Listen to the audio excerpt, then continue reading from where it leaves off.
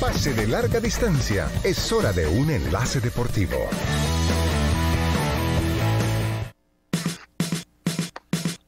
Bueno, tenemos en línea enlace hacia Sonsonate. Tenemos al alcalde de eh, el municipio de Los Cocos, Rafael Arevalo, extenista. Vamos a platicar de varios temas deportivos. ¿Cómo estás, Rafael? Te saludamos de Salvador Fan Club, en cabina Brian y Carlos. ¿Cómo estás? Buenas tardes. Un gusto, Carlos, escucharlo nuevamente. Excelente. A ver, ayer eh, hubo un evento especial por parte del INDE, se lanzó oficialmente la Liga Nacional de Fútbol. Te queríamos preguntar, Rafa, bueno, tú has sido hombre del deporte, por supuesto, nos has representado hasta en Juegos Olímpicos dentro del tenis, pero esto, esta liga eh, es una oportunidad bien interesante y queremos platicar de ello. En el caso de Sonsonate, ¿dónde van a jugar?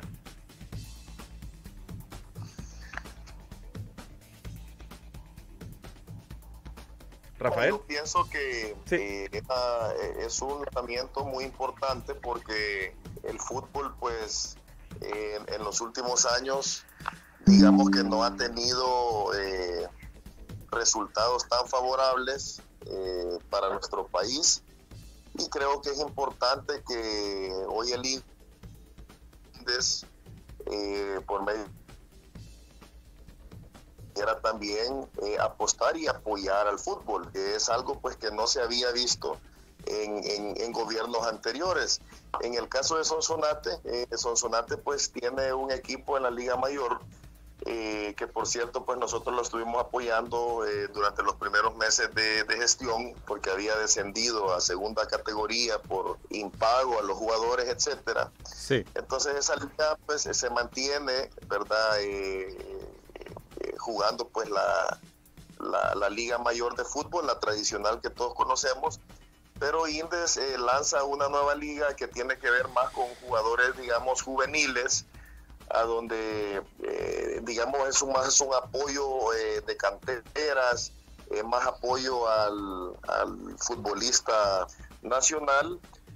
todavía Indes falta que haga su lanzamiento, digamos, ya en cuanto a dar detalles de cómo va a funcionar eh, el reglamento, etcétera.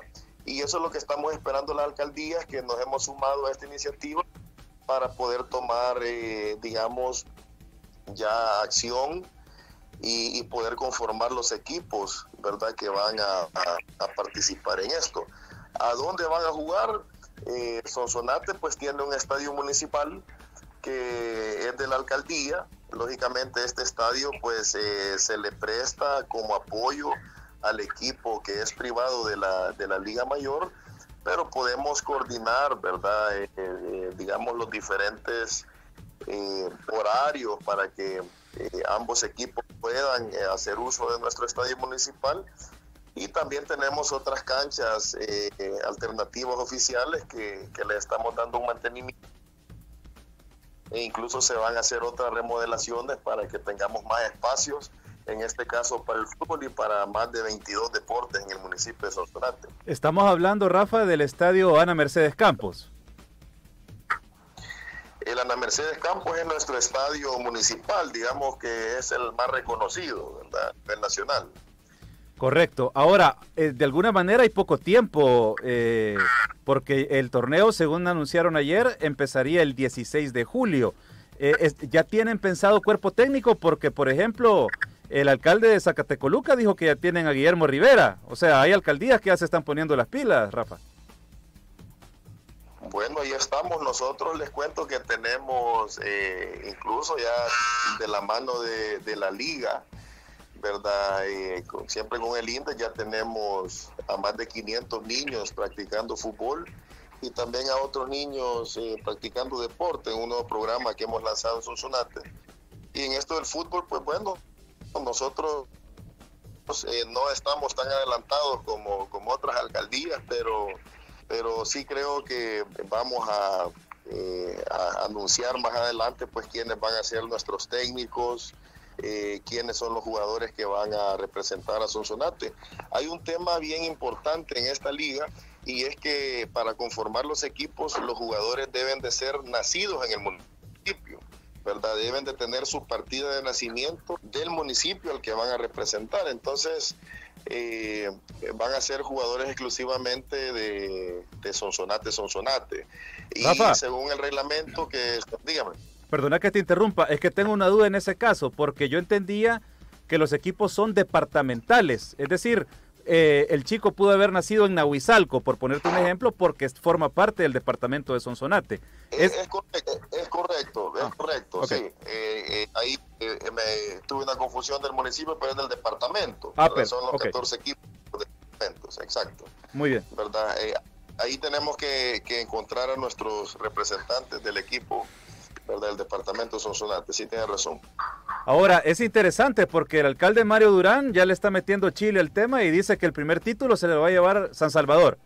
Y Gustavo Acevedo, el de Santa Ana, dice que hay un rey de copas y siempre, siempre va a ser de Santa Ana, dijo. Lo que pasa es que, mira, lo que pasa que en el caso de en el caso de Mario y Gustavo, eh, eh, que no han sido atletas, ellos se animan a decir que van a ganar el campeonato, pero eh, en el caso mío que he sido atleta, yo sé que no tengo que andar eh, diciendo mucho, pero mira, abajo de todo estamos armando un equipo que eh, los vamos a sorprender a todos, así como lo sorprendíamos en la Copa Davis, a México.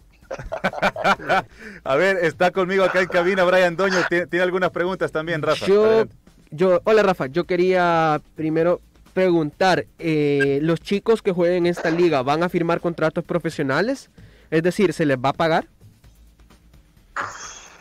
Es que no es una liga profesional, ¿verdad? Esto es eh, una liga eh, en apoyo a jugadores juveniles. Estamos hablando de las de sub-23, ¿verdad? Sub-21, sí. Sub-21, sub... Así es. entonces, eh, no es un tema de, contratación. Ayer Yamil lo dejó claro, ¿verdad? Que esta no es una liga que viene a competir con la liga mayor. Eh, lógicamente para una municipalidad, eh, digamos, tener un equipo como, como uno de la liga mayor, pues conocemos que hay planillas de incluso más de 90 mil dólares mensuales, ¿verdad? Por eso los equipos de la liga mayor son equipos privados, ¿verdad? Que están en manos de empresarios de El Salvador, pues que, digamos, asumen y comercializan a su equipo, ¿verdad? Y, pueden contratar a jugadores eh, profesionales, extranjeros, etcétera. Pero lo que hemos visto en el país es que ese tipo de, eh, digamos, de ligas, ¿verdad? Ese modelo de hacer funcionar el fútbol en el país no nos ha eh, dado los frutos en cuanto a producir jugadores que puedan representar a El Salvador en una selección nacional. Okay. Que viene a ser es un complemento, digamos, en, en las canteras, en los juveniles. Eh, lógicamente, eh, los muchachos, los niños van a necesitar, pues, eh, algún apoyo, ¿verdad? En, uniformes, en tacos, en alimentación, en transportación, algunos gastos. Entonces, eh, lógicamente tendremos, tendremos que apoyarlos, pero, pero no es, digamos, una figura de una contratación bajo un salario, etcétera. Ok, importante eso. Ahora, con también Yamil en la conferencia eh, tocaba dos puntos. el primero es dos, que se iban a aceptar dos extranjeros por, e, por equipo. Sí. ¿Por qué? Porque si es una liga de... Amateur, podemos decir. Mm, de desarrollo, quizás. De desarrollo. ¿Por qué se van a aceptar extranjeros? Eh, y, si siempre le, y si siempre les va a, corresponder la regla de ser menores de, de, 21 años. Y lo otro es eh, si se van a sumar, si se van a sumar eh, empresa, privada de los municipios a este para apoyar. para apoyar porque es, difícil sacar un, un, torneo adelante. Rafael. Bueno eh, sobre la, la, primera pregunta de los extranjeros eh, pienso que es importante y, y, lo repito prácticamente lo que Yamil exponía ayer y, veo que tiene toda la razón, ¿verdad? De que el reglamento pues permita eh, dos jugadores extranjeros siempre, ¿verdad? Eh, adentro de la edad reglamentada. Y es porque, eh, lógicamente, cuando nosotros, no es una obligación tampoco, ¿verdad? ya mm. quedará en, las municipalidades si hacen uso de, este reglamento o no, o juegan digamos, con los jugadores únicamente de su departamento. Pero eh, de repente, cuando uno es un extranjero, ¿verdad? Eh, digamos, le da, le da un parámetro a, los otros chicos nacionales, ¿verdad? O les pone una meta más alta, por ejemplo, ¿verdad? Eh, hoy por hoy, pues, ustedes que están en el mundo periodístico del deporte nacional, podrán saber de que no tenemos muchos jugadores eh, eh, digamos, eh, de un nivel a donde ellos se estén yendo hacia otros países. Estamos exportando muy poco, correcto. Equipos, por ejemplo, a México o Europa. Entonces, cuando, cuando tenés, por decir, deprimido el deporte y viene una nueva liga, eh, a los mismos integrantes del equipo y, se limita con dos únicamente. De acuerdo. Rafa, para ir cerrando, eh, tú mencionabas que hay equipos profesionales, ¿verdad? Bueno, el caso de Sonsonate lo experimentó en su momento cuando estaba en, primera división, recordemos que ahorita ya no está. Pero bueno, como esto es una liga de desarrollo, seguramente no van a ser planillas de 90 mil, 40 mil dólares, pero imaginémonos que costara, no sé, 10 mil dólares al mes. Esos fondos, ¿Los va a aportar el gobierno en apoyo a esta liga, el, gobierno central, o van a venir de cada municipalidad o, cada parte, no sé, cada uno de los municipios de cada departamento va a aportar plata? ¿Cómo, cómo va a funcionar esto? Eh, no les podría dar un detalle, ¿verdad? Y eso sí me gustaría eh, que, digamos, pues es, es Yamil quien está lanzando esto lógicamente cuando nos sumamos nosotros como alcaldía, nos sumamos a apoyar ¿verdad? el deporte. Por ejemplo, les doy un dato, la alcaldía de Sonsonate ya ha destinado eh, alrededor de 200 mil dólares al año para un programa de deportes.